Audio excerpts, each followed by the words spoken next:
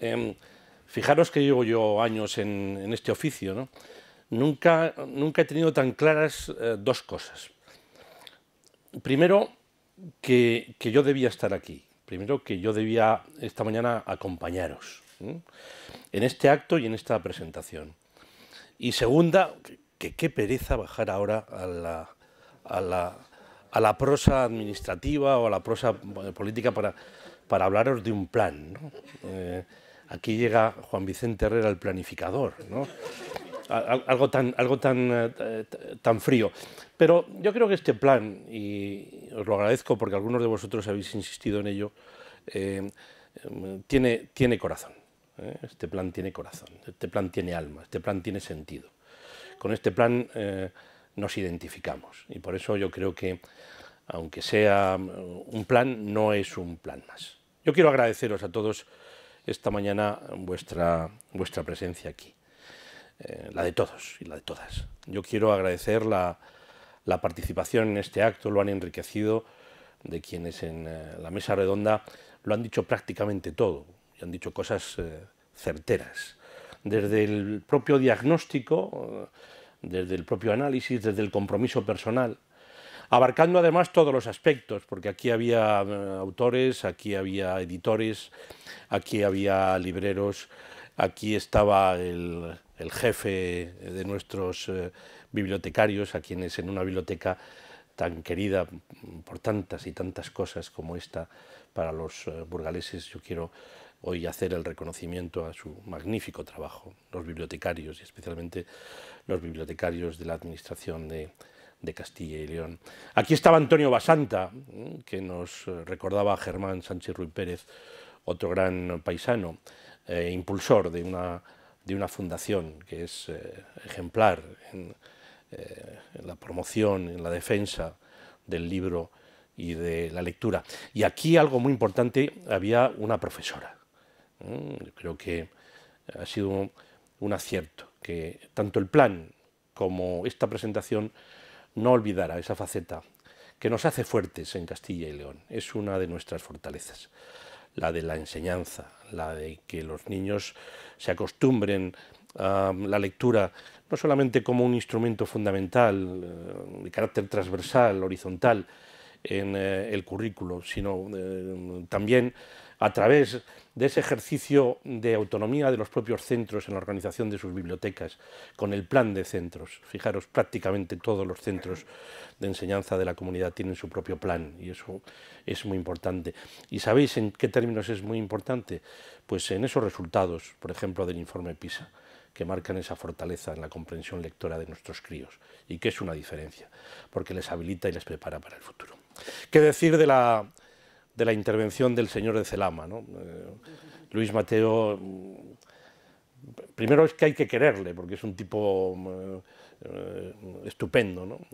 este, este, este leonés de la, de, la, de la montaña. Hay que quererle por cómo es y también hay que quererle por, por sus obras.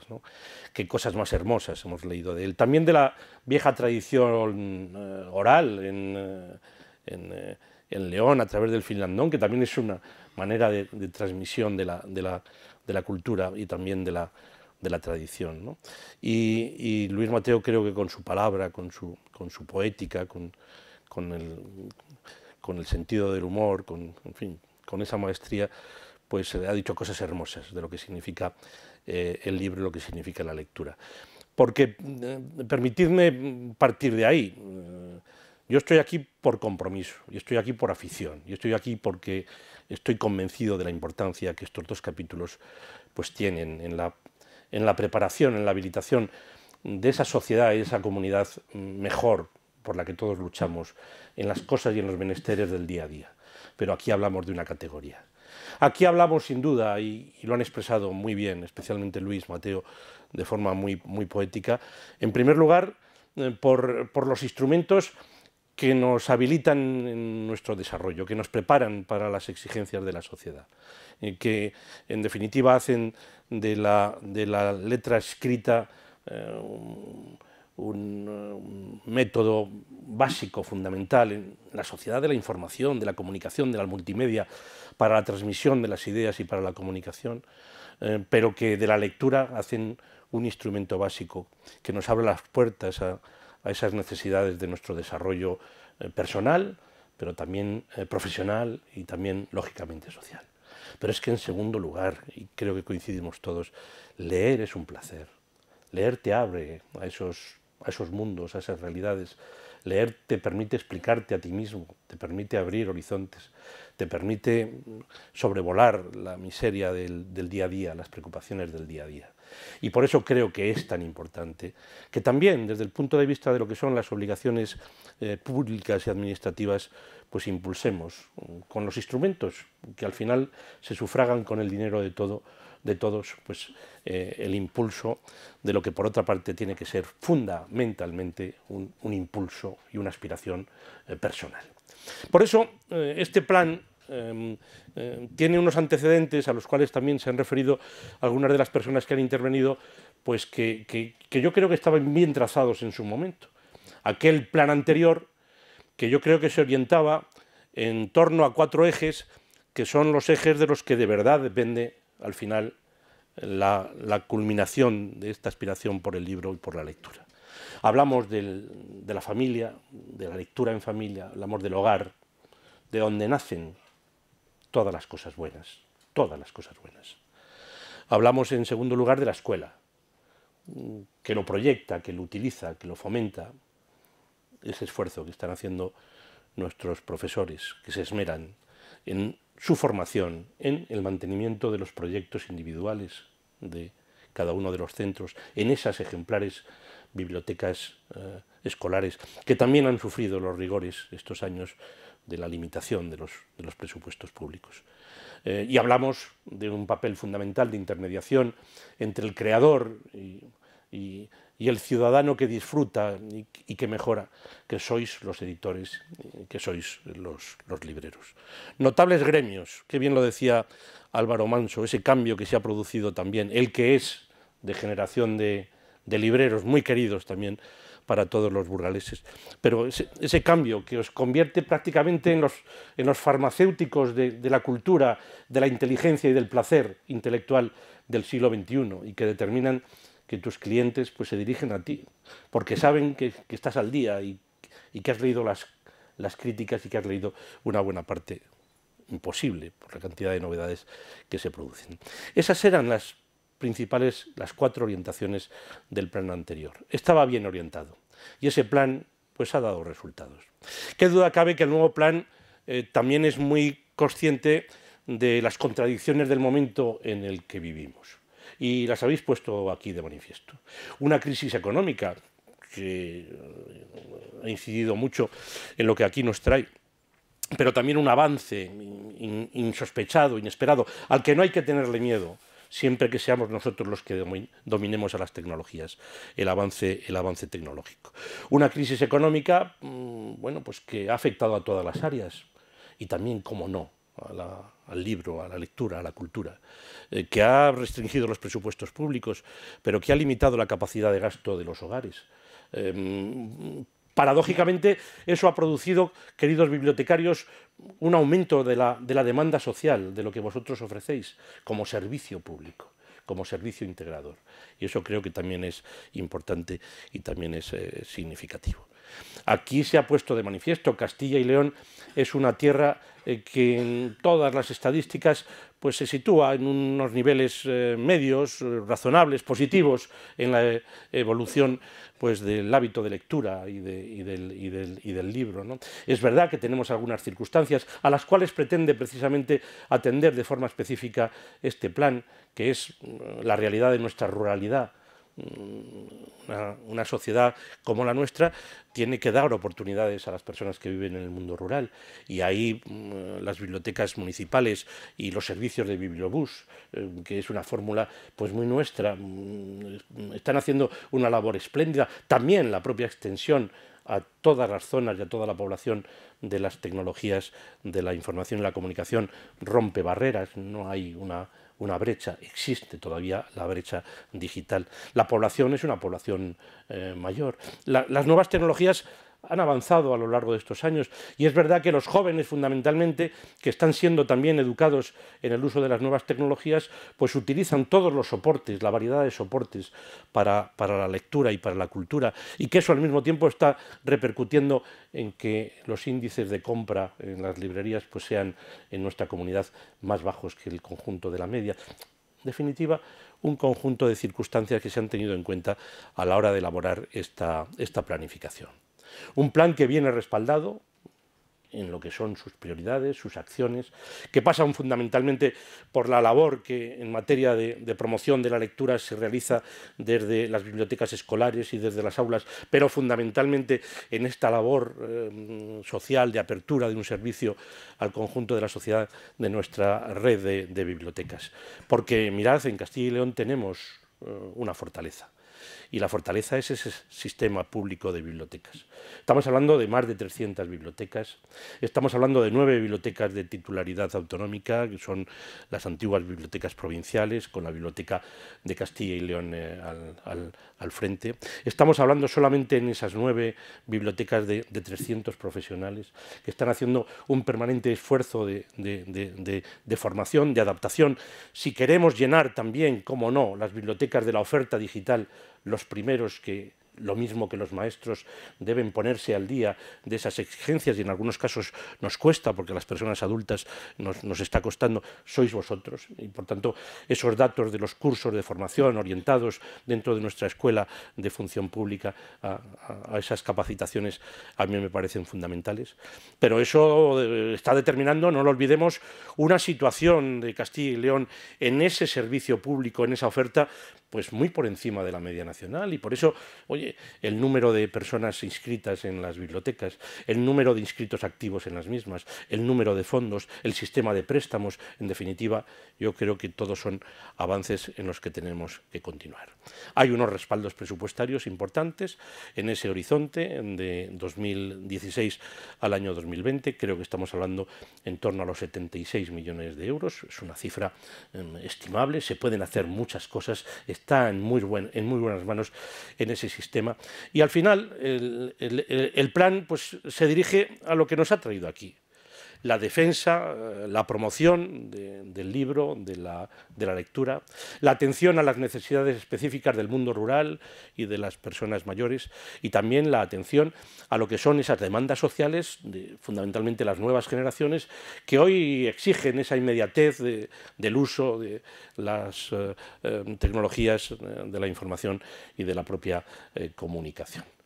Y a partir de ahí, pues son muchas eh, y muy distintas las actuaciones y las medidas. En el papel que, que, me han preparado y que, y que yo pues he estado eh, trabajando un poquito esta mañana, em, me destacan ocho líneas eh, distintas de actuación. No, no, quiero, no quiero cansaros mucho, ni tampoco quiero alargar demasiado mi intervención, pero me parece que es la primera línea pues enlaza con lo fundamental. Hablamos de el fomento de la de la práctica de la lectura. Y para ello, eh, el plan, como buen plan, pues se marca objetivos. Se marca, por ejemplo, el propósito de mejorar en un 10% en el, en el plazo de estos cinco años los indicadores de hábitos de lectura actuales, que como os indico son unos indicadores muy buenos en aspectos, por ejemplo, como los del préstamo bibliotecario, pero que son manifiestamente mejorables en los índices de compra de, libros, o por qué no, eh, en el placer social de regalar eh, también un libro. Es importante. Se trata esta de la eh, línea de fomento a la práctica de la lectura, de la que mayor financiación tiene en el plan, puesto que en este caso incorpora el grueso de los aspectos relacionados con el funcionamiento del sistema público de bibliotecas y con el sistema educativo. Y, por ejemplo, incluye la previsión de incrementar en un 10% las actividades culturales de las, de las bibliotecas como fórmula para animar a muchos ciudadanos a que se acerquen más a ellas. Una de las principales novedades, la, segunda de las líneas, es la que se refiere a la lectura digital. Este es un ámbito en el que afortunadamente no partimos de cero. Como consecuencia del esfuerzo hecho en los últimos años, la mayoría de nuestras bibliotecas se han integrado ya en esa red de gestión automatizada de bibliotecas que recibe el nombre de Rabel. La Biblioteca Digital de Castilla y León es una realidad hoy a disposición y con contenidos en aumento. El portal de bibliotecas ofrece diversos servicios en línea. La propia plataforma de préstamo del libro electrónico se puso en funcionamiento en el año 2014. Pero hay muchas cosas más que hacer porque la expansión de la sociedad de, la información y del conocimiento eh, es imparable. En este sentido, el plan Mm, prevé cómo las bibliotecas deben seguir adaptándose a las demandas sociales que piden servicio a través de lectores electrónicos, de tabletas, de teléfonos inteligentes, cómo promover la lectura digital es la mejor manera de atraer a los usuarios más, eh, más jóvenes y de llegar a cualquier punto del medio rural, de nuevo romper las distancias. Y por ello el plan pretende insertar, insertar mucho más a nuestras bibliotecas en un mundo interconectado eh, por la red apuesta por contar con ese sistema consolidado de préstamo de libros electrónicos y de servicios en línea, con la previsión de aumentar la colección digital de nuestras bibliotecas en un 80% y prevé también eh, potenciar, a esto me he referido antes, los programas de formación relacionados con estos nuevos soportes y formas de lectura. Estos mismos cambios tecnológicos a los que me he referido abren la puerta a otras dos líneas del nuevo plan. Una de ellas es la que se refiere, se ha planteado aquí, también es una consecuencia del avance eh, tecnológico, a la necesidad de dotarnos de un nuevo marco normativo más exigente, más respetuoso con la libertad, decía Antonio Basanta, que regule, por ejemplo, la gestión del depósito legal ante la irrupción de la edición digital y la difusión a través de, Internet.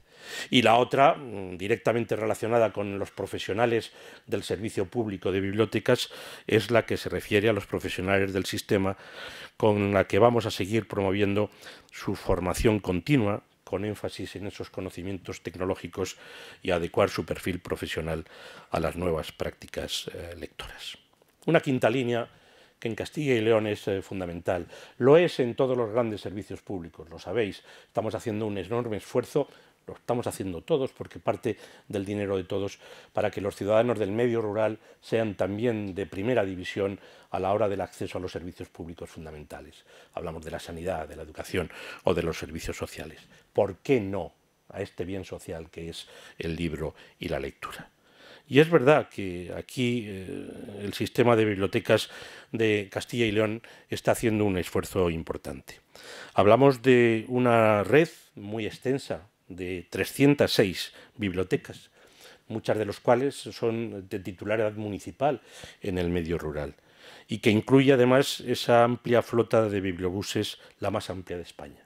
30 en este momento circulando por nuestro territorio y por nuestra carretera todo lo cual sirve para acercar eh, el libro a, nuestros pequeños municipios. Pues bien, el plan eh, propone ahora reforzar la cooperación entre todas las bibliotecas del sistema, incorporar nuevos centros al sistema de bibliotecas, renovar el 10% de la flota de bibliobuses en estos cuatro próximos años y crear un espacio en el portal de bibliotecas para apoyar la planificación y gestión de los centros municipales. Dos líneas más del plan se, relacionan con otros dos planes o programas que se están impulsando desde la política cultural de la comunidad y de la Junta de Castilla y León. Me refiero, en primer lugar, al Plan de Industrias Culturales y Creativas. Hay una clara complementariedad entre estos dos ámbitos. Y esto orienta, en el nuevo plan de lectura, una línea decidida de cooperación con otros agentes del sector. Se trata, al final, de lo que hemos escuchado aquí y de lo que podemos ofrecer. Apoyar más a librerías, a editoriales, a productoras y distribuidoras de contenidos digitales, a fundaciones y a asociaciones, a autores, a ilustradores, a creadores, a traductores, a intérpretes, etc. Y así, entre otras actuaciones, se prevé aumentar la presencia en todas las ferias del libro de Castilla y León y en las más relevantes nacionales e internacionales. Potenciar, como aquí se ha dicho también, ¿por qué no? Debemos hacerlo a nuestros editores, a nuestros eh, escritores. Impulsar ese sello de calidad, que ya es una realidad, decía Álvaro Manso en seis eh, librerías en Burgos, de librería de referencia cultural que es un distintivo pionero en, España y que eh, hemos presentado hace tan solo unos meses dirigido a las librerías que cumplan determinados parámetros de promoción cultural. El librero como agente cultural de primera dimensión en las puertas eh, de las calles, eh, de los centros eh, y de los barrios de las ciudades.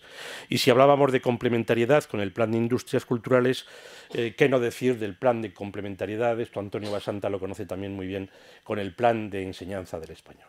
Esta es una tierra que, en primer lugar, por obligación y por tradición, nuestra lengua universal nació castellana, lengua común de los españoles, hoy compartida con 600 millones de hispanohablantes, la segunda lengua eh, del mundo mm, que requiere, que tiene una demanda de aprendizaje. Y aquí se está impulsando todo ese esfuerzo. ¿Por qué no?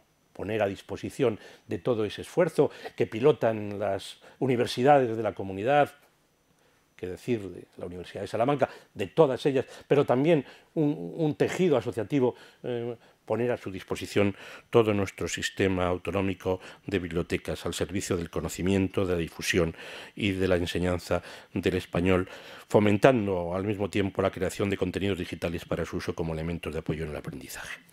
Y una octava y última línea, y con esto ya, queridas amigas y amigos, finalizo, que es la que representa este magnífico centro en el que hoy nos encontramos un centro que desde su propia eh, eh, configuración, desde su, propia, su propio diseño eh, abierto, traslúcido, abierto, quiere dar a entender que, las bibliotecas, mm, lo mismo que el libro y la lectura, deben tener esa vocación de apertura, de apertura al conjunto de la sociedad.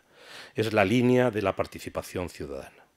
Se trata de reforzar el papel de las bibliotecas como espacios de integración que mantengan una interlocución permanente con la sociedad civil y con los demás eh, gestores eh, culturales. Es esencial reforzar, aquí se ha dicho ya, esa función social de las bibliotecas y por extensión del libro y de la lectura. La lectura es, eh, como convenimos, una herramienta básica de inclusión social, y actúa en favor de la unidad, de la igualdad de oportunidades. Y por ello queremos impulsar también en relación al funcionamiento de las bibliotecas y también en relación a la extensión de eh, la pasión por el libro y por leer eh, el voluntariado, la cooperación con las asociaciones sociales y una mayor integración de las bibliotecas en general en el conjunto de la comunidad a la que atienden, con especial atención a las personas que tienen mayores obstáculos para llegar al, libro. Hablamos de proyectos, por ejemplo, en relación con minorías étnicas o lingüísticas. Ahí están eh, esos eh, ejemplos de las bibliotecas multiculturales ya en funcionamiento. Personas en riesgo de exclusión social, mm, que pueden eh, circular mm, libremente por las calles o que por circunstancias se encuentran, por ejemplo, en establecimientos mm, penitenciarios. Personas mayores, personas con cualquier tipo de, de discapacidad, discapacidad eh, eh, para movimientos, se ha hecho un enorme esfuerzo en la modernización de estos centros, pero que pensemos eh, en, esas nuevas tecnologías que permiten a las personas que, no tienen este privilegio que tenemos los que vemos bien de, acceder también al libro, incluyendo esos aspectos de supresión de barreras, actividades en colaboración con Cruz Roja y Cáritas, programas de extensión bibliotecaria, etcétera, etcétera. Un cariz social que en efecto, y gracias por ese reconocimiento, ha sido eh, ya reconocido por el Gobierno de la Nación, por el Ministerio de Cultura, pidiéndole a, la, Junta de Castilla y León, a través del Consejo de Cooperación Bibliotecaria, que lidere un grupo estratégico dirigido a impulsar la función social de las bibliotecas en el conjunto de España. Queridas amigas y amigos, eh, mm, concluyo. He querido ponerle eh, calor y convicción, porque vuelvo a deciros creo que comparto con todos vosotros el amor por el libro y el amor por, por la lectura, como obligación eh, personal y profesional, pero fundamentalmente por sentido del, raciocinio y del hombre. Todos sabemos que la lectura es esencial para formar a las personas, esto es para eh, el propio desarrollo individual, para formar a profesionales, ahora que tanto se habla de los factores de competitividad, qué duda cabe que la capacidad, la habilidad y, la capacidad de comprensión lectora es uno de los factores de competitividad más importantes de cualquier economía, para formar ciudadanos con espíritu crítico y capaces de comprender, muchas veces es difícil, y de participar también lo es en los asuntos públicos, y sobre todo y creo que aquí se han dicho cosas bellísimas para crear seres humanos mucho más completos y mucho más felices. Si para estos nobles objetivos sirve, y creo que sí que sirve, un instrumento de planificación que entra de lleno en el conjunto de las obligaciones de una administración y de un gobierno de hacer y de construir todos los días, junto con todos, una comunidad y una sociedad mejor, de progreso, avanzada, digna, pues habrá merecido la pena. Y desde luego lo que ha merecido la pena es compartir este acto con todos vosotros. Muchas gracias.